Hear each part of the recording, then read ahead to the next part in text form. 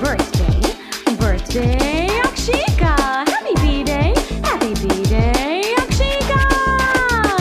Feliz cumpleaños, Akshika, yeah.